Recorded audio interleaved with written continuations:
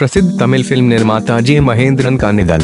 जाने माने तमिल फ़िल्म निर्माता जे महेंद्रन का मंगलवार को उनके निवास पर निधन हो गया।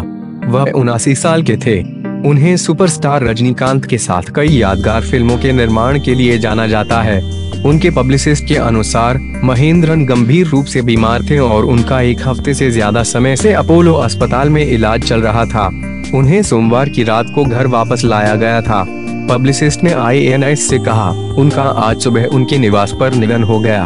उन्हें एक हफ़्ते के इलाज के बाद बीती शाम अस्पताल से घर लाया गया था। उनका आज शाम अंतिम संस्कार किया जाएगा।